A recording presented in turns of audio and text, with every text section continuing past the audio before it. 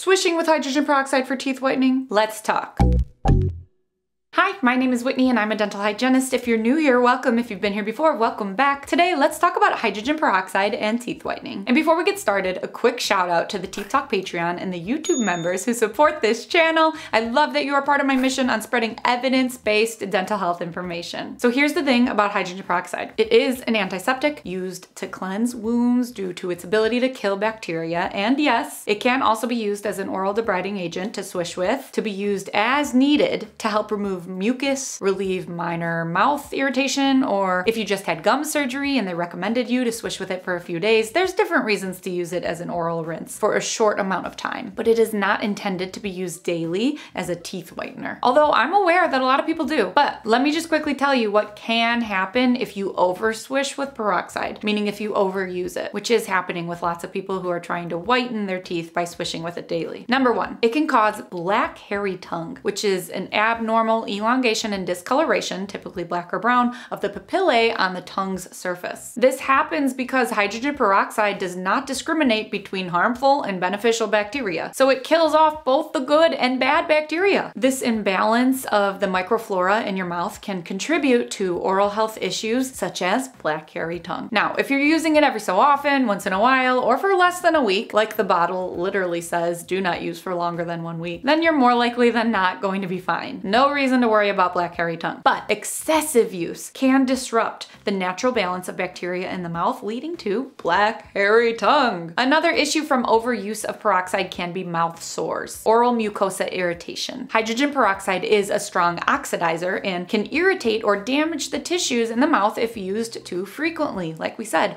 or in high concentrations, leading to mouth sores and ulcers. And having said that, on TikTok, the peroxide whitening trend, what inspired this video, the trend is that you swish for 30 minutes straight every single day for weeks and weeks until you feel your teeth look whiter. First of all, 30 minutes is an outrageous amount of time to swish with anything, but TikTokers are claiming that they get whiter teeth from swishing for 30 minutes every single day. Although yes, peroxide, whether it's hydrogen peroxide or carbamide peroxide is the ingredient in teeth whitening products such as strips, trays, and gels, which is why TikTokers think they have found the hack to cheaper whitening by swishing with it straight from the bottle. The issue is that the bottle it's not concentrated properly at all for teeth whitening. And swishing with a liquid, it will take an extremely long time to see any type of whitening results. Think about how the white strips stick on your teeth. They are formulated properly to stick on your teeth with proper concentration of peroxide, often having you leave them on there anywhere from 10 minutes to two hours, depending on the concentration. Always read the label direction. But with the liquid straight from the bottle, concentration not only is much lower, but also where the problem comes in is that you're just rinsing rinsing your entire mouth. It's fine for your teeth because it's actually a way lower concentration of peroxide than you would get in the white strips. But for your tongue, the inside of your cheeks, the oral tissues around your gums, killing off all the good bacteria in your mouth, like we mentioned earlier, it's increasing your chance of black hairy tongue as well as mouth sores and ulcers. Sure, maybe it will make your teeth appear slightly whiter over time, but no more than a whitening toothpaste would. Again, a toothpaste formulated to help brighten your teeth. Some toothpastes do contain peroxide. These toothpastes are designed to reduce stains from forming on your teeth, not to actually whiten them. I'll link that video of mine if you want to learn more about whitening toothpaste, but for the purpose of this video, swishing with peroxide straight from the bottle, the chance of negatives that can come along with it, it's just not worth it to me for something that is going to take an extremely long amount of time to maybe show any results on your teeth. As a dental professional, I tell my patients who want whiter teeth, it's much easier to just buy white strips and use them. You can find them for like $15 at Target and then you won't have to worry about black hairy tongue or mouth sores. There are so many affordable white strip options out there nowadays. I will link some in the description box below. And before anyone says that I'm pushing product or something, please know that this video is not at all sponsored. I'll link a bunch of different brands. I'm just telling you what I would tell my patients because who wants black hairy tongue or mouth sores?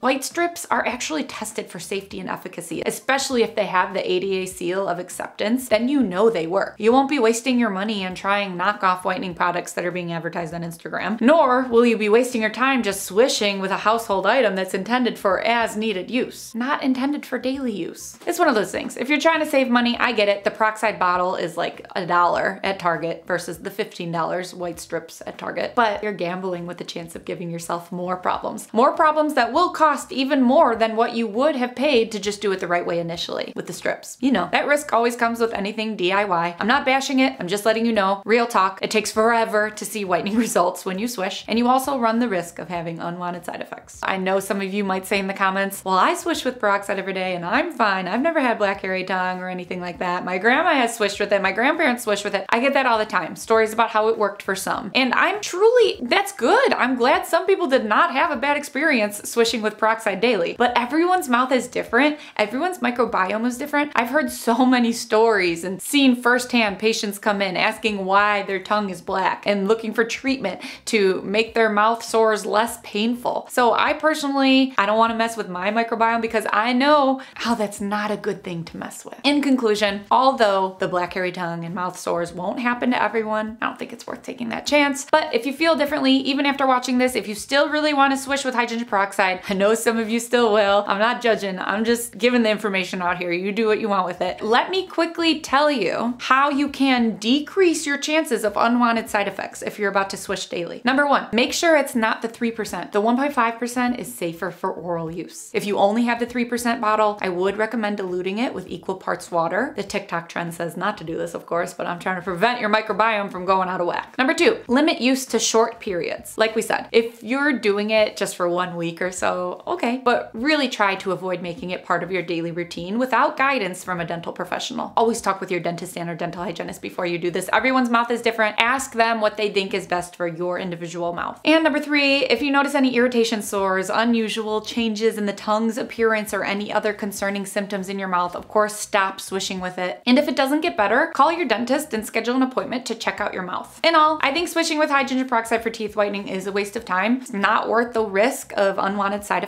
It's much easier to use a whitening toothpaste if you're trying to prevent stains from forming. And if you're really trying to whiten your teeth, make them look shades whiter, then whitening product like strips, trays, or gels are the way to go. I hope this video helped you. Please like, subscribe, and turn on your notifications if it did. And thank you again to the YouTube members here and the Patreon members supporting this channel and supporting dental health awareness. If you want to join the fight in making sure evidence-based health information is being shared online, become part of our Teeth Talk community. The links to join are in the description box below. And until then, I'll see you on Instagram at Teeth Talk Girl. Peace, love, and teeth.